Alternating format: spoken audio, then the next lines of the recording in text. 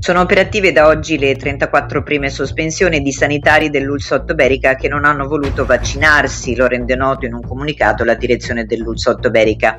Si tratta di 34 operatori appartenenti a varie categorie e servizi dell'azienda sociosanitaria. Il provvedimento non avrà conseguenze dirette sui servizi erogati ai cittadini, anche se ha reso necessaria una riorganizzazione con la ridistribuzione interna di altre risorse di personale. Nei giorni scorsi contro il provvedimento si era scagliato sbagliato il sindacato regionale di base del settore sanità.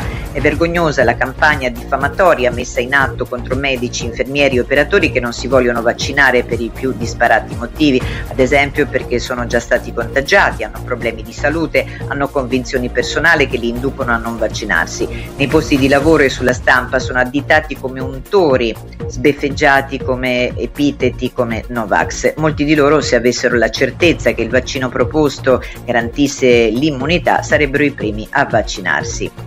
Intanto nell'URSS Pedemontana sono state inviate 155 diffide ad altrettanti operatori sanitari che non si sono ancora vaccinati.